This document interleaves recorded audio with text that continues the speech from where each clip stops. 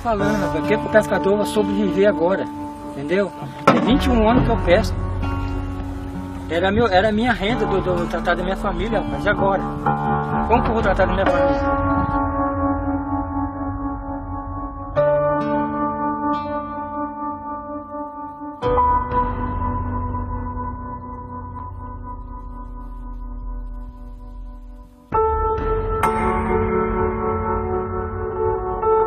Não acabou só com o rio não, com os pescadores, com o peixe.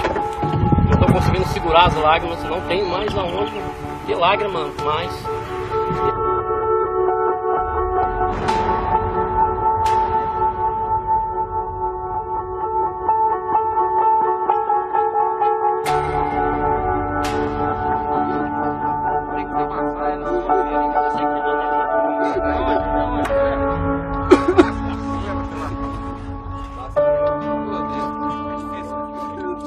Cara. Isso é foda. Eu tava segurando pra não chorar, cara. Eu não consigo. Eu também chorei ontem, rapaz. Chorei não.